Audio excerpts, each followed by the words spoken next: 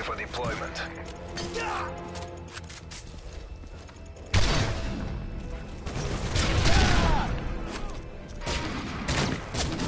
UAV recon standing by.